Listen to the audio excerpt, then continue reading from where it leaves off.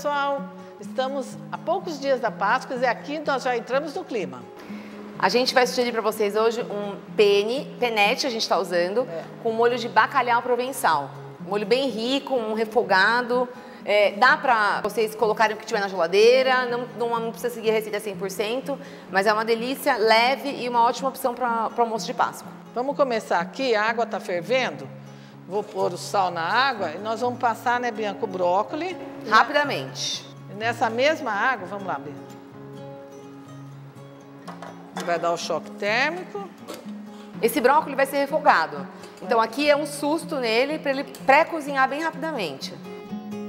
Um minuto mais ou menos na água. Eu vou passar em água corrente agora para esfriar.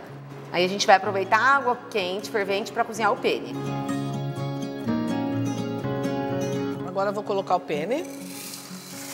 Sete minutos, mais ou menos. Enquanto isso, aqui nós já temos o bacalhau já desfiado e demolhado, né? Esse bacalhau, gente, é dessalgado, tá? Então é o bacalhau que a gente compra ele desfiado e dessalgado.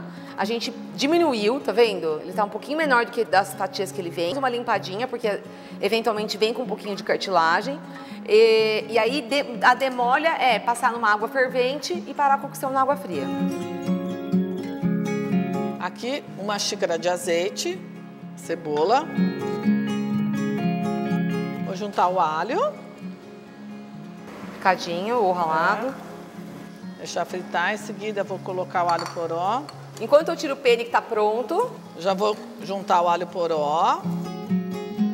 Essa massa vai ser boa até fria. É. Meio salada morna, assim, sabe? Dá uma refogada no alho poró.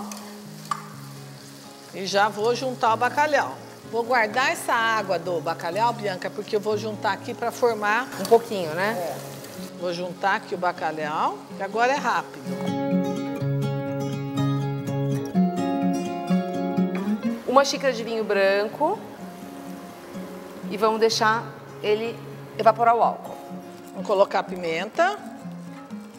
Ajustei o sal. Agora nós vamos colocar o brócolis, né, Bianca? Bianca, refogado aqui. O vinho evaporou. Vou colocar uma conchinha de água. Agora a gente pode juntar o tomatinho. Eu peguei uma travessa pra gente misturar tá. a massa com esse refogado. Já tá pronto. Vamos passar. Quer desligar?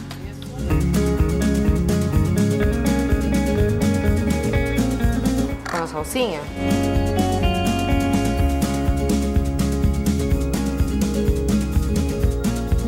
gente está colocando azeitona no final para ela não manchar, né, Bianca? Isso. Azeitona preta, se vocês quiserem, pode colocar azeitonas verdes também.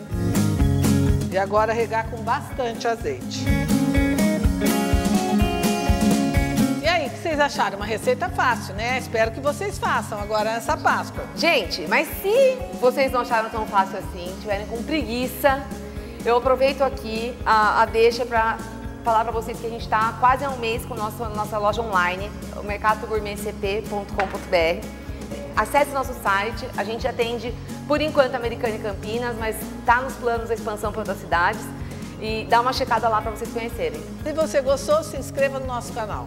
Até a próxima!